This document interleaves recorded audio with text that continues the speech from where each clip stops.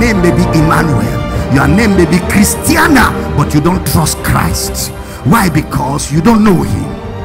Yeah, you've been in church all your life, and all you have gathered in church is religion. You've been in church all your life, all you've gathered in church are cliches that cannot be substantiated with scripture. And if you don't know the scripture, you don't know God. Jesus said to the Jews, You do err because you know not the scriptures, not the power of God. You search the scriptures for in them you think you have eternal life, but the scriptures don't give eternal life. They are the revelation of God. When you meet him, you meet life. He that has the Son has life. I'm teaching good tonight.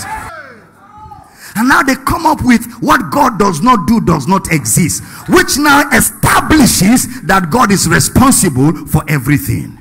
He kills, he makes alive, he destroys, he does everything. What God, some of you have it, what God does not. Some of you have it inside your phones. Some of you that's your screensaver. Something is wrong with your medulla oblongata. You need to be cross-examined.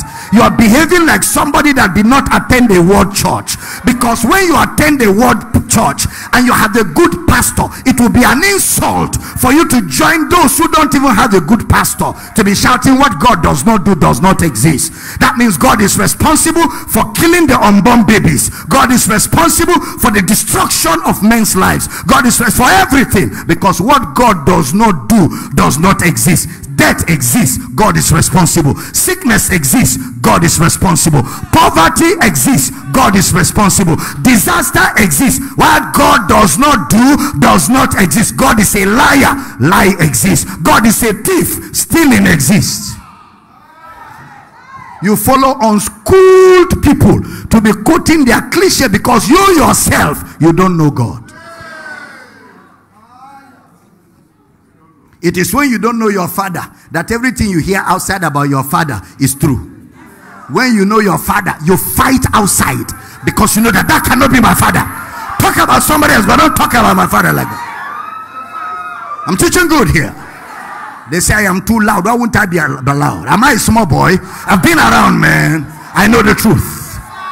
And I will not stand in the face of any unschooled Bible carrier to mangle and blackmail and assassinate the character of my father. I spoke to him this morning. I spoke to him this afternoon.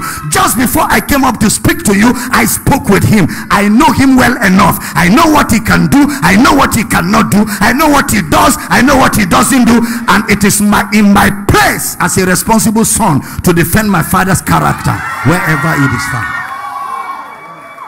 And if you don't know your father, then shut up and leave us who know our father defend our father. If I'm teaching good, shout, I hear you. Yenagoa, are you sure you're ready for me? James chapter 1, verse 13. James chapter 1 verse. Can we all read together everybody like a mass choir? One, two, go. Let no man say, I am tempted of God. For, stop, for, stop, for, stop, for, stop, for. What God, what God cannot do does not exist. God cannot. God cannot. There are things God cannot do, and they exist.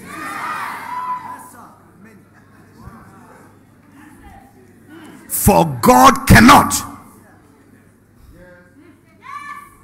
For God cannot be tempted with evil, neither tempted he unbeliever, believer, Muslim, they are all men. God cannot tempt anybody.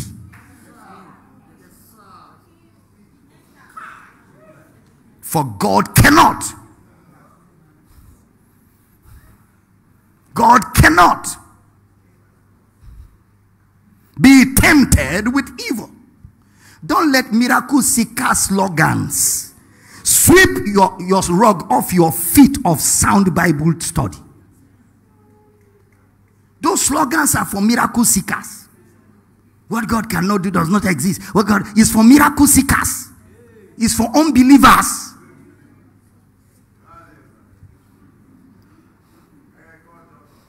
The popularity of 18 doesn't make it the truth.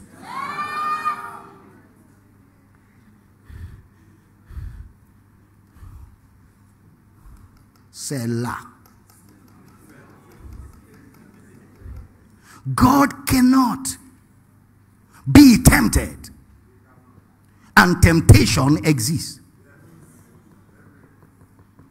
Neither tempted he any man, and men are tempted.